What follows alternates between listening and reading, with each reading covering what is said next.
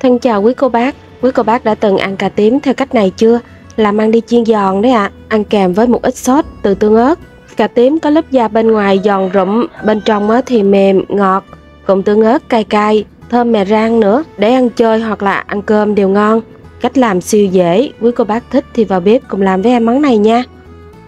Nguyên liệu chỉ cần có cà tím, bột chiên giòn, một ít gia vị như đường, hạt nêm chay, dầu ăn, tương ớt và mè rang.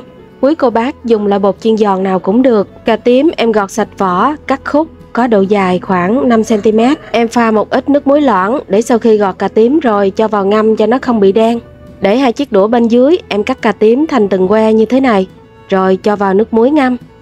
Ngâm cà tím trong nước muối khoảng 15 phút, sau đó mang đi rửa lại thật sạch, rồi vắt cho thật là khô nước, tẩm bột và mang đi chiên thôi. Đây là cà tím sau khi em đã vắt thật khô nước.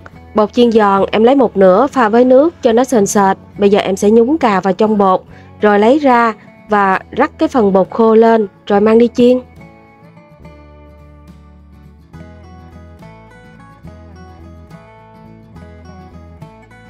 Đây là phần cà mà sau khi em đã tẩm bột xong Bây giờ cho vào chảo dầu nóng Chiên cho vàng giòn nữa là được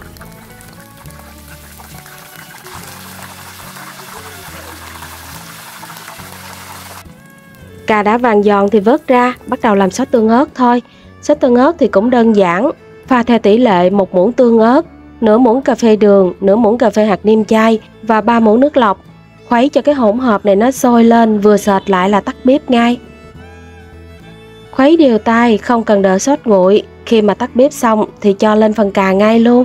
Cho sốt tương ớt lên cà thì phải ăn ngay nha quý cô bác, để lâu cà sẽ mềm không ngon. Món này khi ăn giòn ngoài mềm trong, vị mặn ngọt cay cay rất hấp dẫn. Quý cô bác hãy làm thử nha. Và món chay hôm nay đến đây đã kết thúc rồi. Rất cảm ơn quý cô bác đã theo dõi video ạ. À. Xin chào và hẹn gặp lại quý cô bác ở video món chay lần sau. Chúc quý cô bác luôn vui khỏe và có những bữa chay thật ngon miệng ạ. À.